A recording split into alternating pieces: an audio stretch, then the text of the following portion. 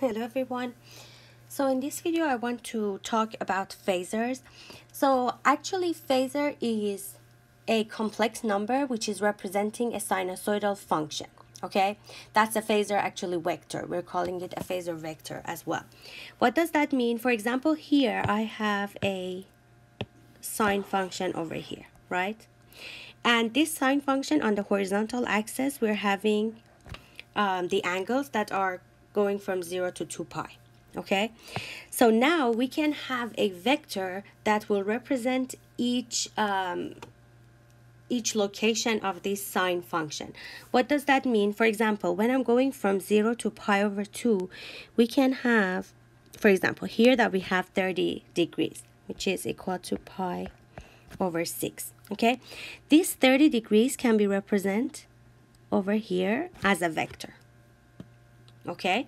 So from 0 to 30 if I call it omega t of the sine function then this angle over here is our omega t. Okay? So representing a sinusoidal function as a complex number right? Let's do another one.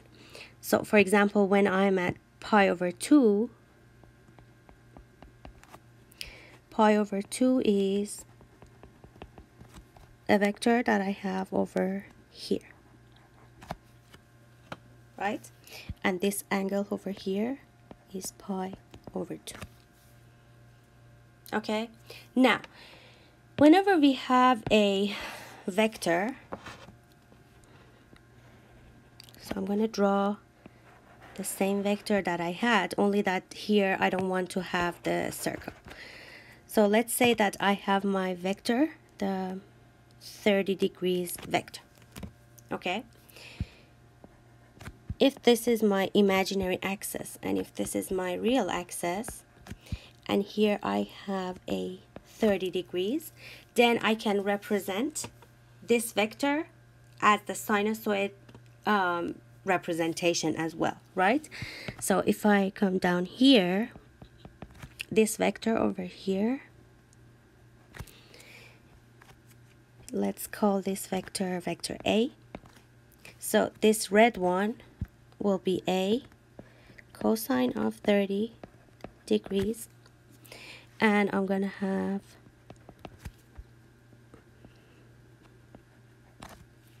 A sine of 30 degrees. Okay? So now for example, whenever we have, um, if you remember in Euler's formula, we had a cosine of omega t plus theta that was equal to a e to the j omega t plus theta plus e to the negative j omega t plus theta all of these over 2. And then each of these e to the power of j theta can be represented as cosine of theta plus j sine of theta. Okay, as we can represent this vector A that we have, here we can represent it as cosine of 30 degrees plus j sine of 30 degrees. So the real part of it is that cosine and then um, the imaginary part is the part that is on the um, imaginary axis. Now, in the phasor notation, actually we are using polar coordinates, okay? What does that mean?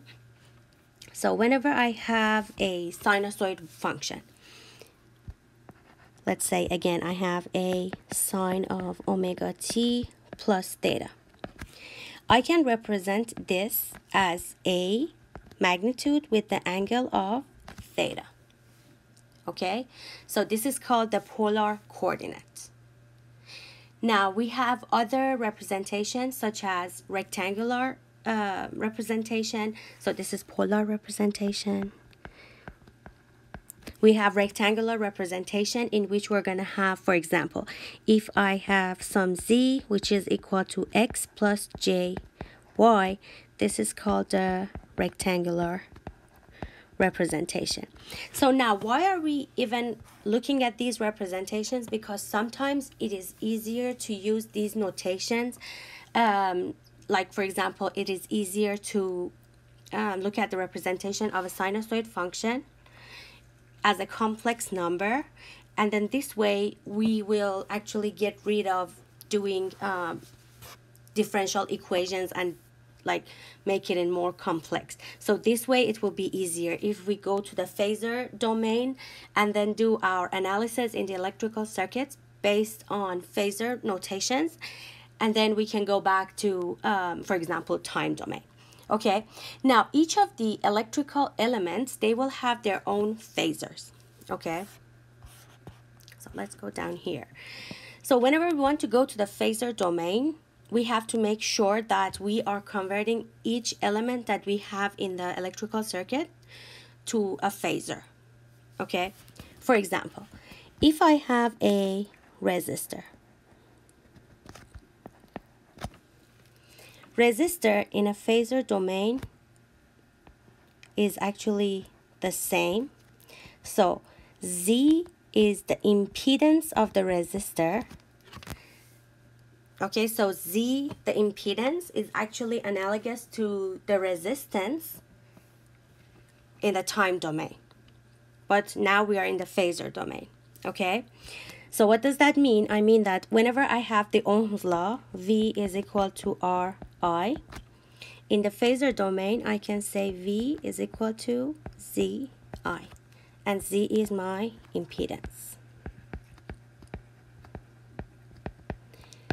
So why am I saying that whenever I want I want to do um, an analysis in electrical circuits, sometimes it's better to go to the phasor domain to avoid doing any differential equations because let's say that I have a capacitor or a, an inductor. So the capacitor over here, um, let's have this capacitor we all know that the I that is passing through the capacitor is equal to C dVc over dt, right? The differential of the voltage across the capacitor. Now, let's say that I want to get rid of this um, differential equation. So I can go to the phasor domain and I can find the impedance of the capacitor. And when I find the impedance of the capacitor and I'm in the phasor domain, then that way I can look at my um, capacitor as an impedance that can work in the um, Ohm's law. What does that mean? So if I want to go to the phasor domain, I'm going to have my capacitor, but this time I'm finding its impedance, ZC. Okay? Now let's see what is um, ZC. So the impedance of the capacitor is actually equal to Y 1 over um, j omega c. Okay, now how can we find that? Actually, d over dt in the phasor domain, so when, when I'm in the time domain, d over dt, when it goes to the phasor domain, it becomes j omega. Okay, now let's just substitute that in the current, uh, in this current equation of the capacitor. So I'm going to have I of the capacitor. Let's write it actually in a phasor domain. So we have the I of the capacitor is equal to the capacitance. Now I have J omega instead of d over dt and then I have VC. Right? Then if I want, so now I'm in the phasor domain. So I can write this as VC is equal to 1 over J omega C multiplied by IC. Now, Ohm's law. I have I, I have VC. So this will be the impedance of the capacitor. Okay, so the impedance of the capacitor is always equal to 1 over j omega c, and the omega is the angular frequency that we're going to have in our circuit. Okay, so for the resistor, the impedance is the same as the resistance. For the capacitor, Z of C is equal to 1 over J omega C. And for, for an inductor, um, if I have an inductor over here,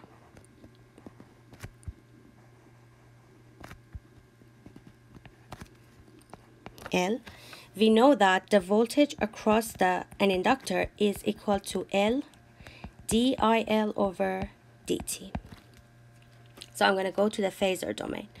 I'm going to have the voltage of this um, across this inductor is equal to L. Instead of d over dt, we're going to have j omega I L. Ohm's law, V is equal to Zi. So this is the impedance of an inductor. Okay, so the impedance of the inductor will be J omega L.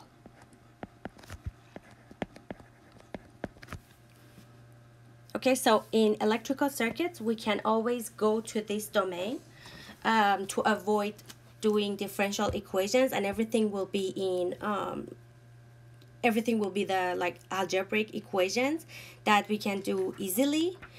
And if we need to know anything in the um, time domain we can go back to the time domain after we do our calculations in um, phasor domain okay?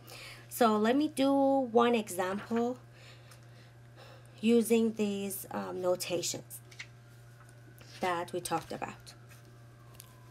All right. So let's say that I have this circuit with an impedance, uh, with, sorry, an inductor and a resistor. Let's go over here. So let's say that I have this circuit with a resistor and an inductor.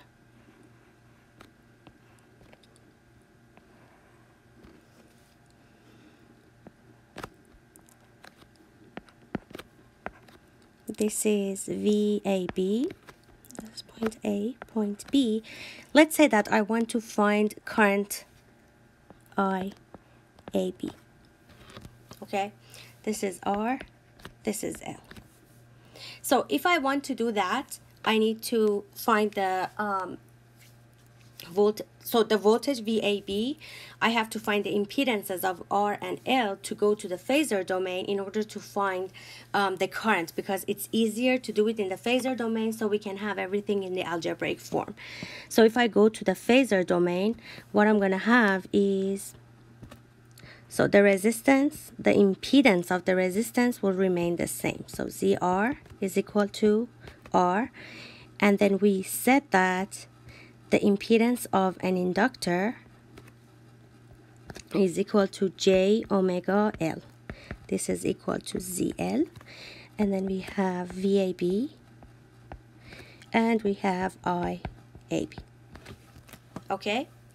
Now, when you convert everything to the to the phasor domain, so whenever you have every all the elements in their impedance format, you can look at them as we were as we have some resistances okay? Because impedance is also valid in this Ohm's law okay? So right now I can say that okay I have two impedances this one and this one that are in series.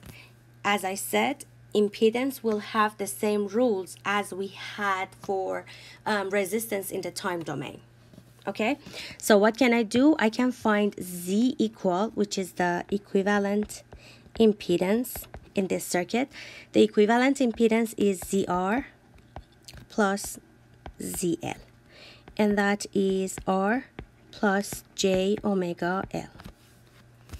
So I know that VAB is equal to the impedance. So it's R plus J omega L multiplied by the current that I have, IAB. So from here, IAB will be equal to 1 over R plus J omega L multiplied by VAB. Okay, so whenever we have a capacitor, whenever we have an inductor in a circuit, uh, it's always easier to go to the phasor domain do the analysis there and then if anything is required in the time domain you can go back to the time domain after that.